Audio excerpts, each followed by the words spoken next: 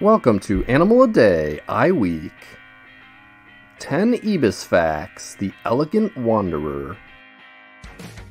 1. Ibises are a group of about 29 species of wading birds across 10 genera. 2.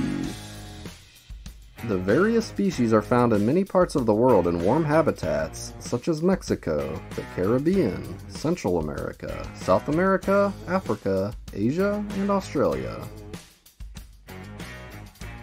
3.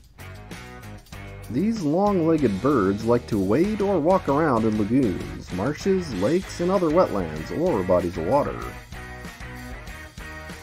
4.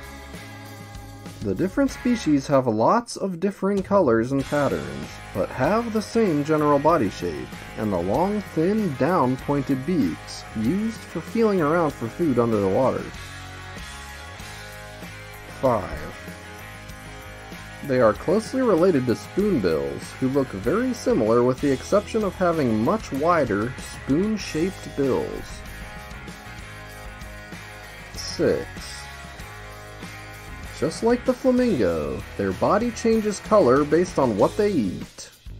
The scarlet ibis eats a lot of the same things as the flamingo does, so they can have a near identical hue. 7. Ibises are monogamous like many other birds. They only lay a small clutch of eggs, usually between 2 to 5. 8. The giant ibis of Cambodia is the biggest of the species, coming in at up to 42 inches or 107 centimeters, and weighing up to 9 pounds or 4 kilograms. 9.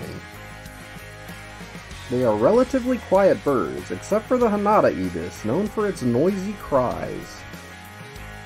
And 10.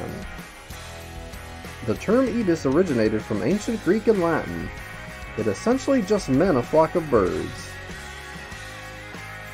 Thanks for watching. Remember to like, comment, and subscribe for more daily animal videos.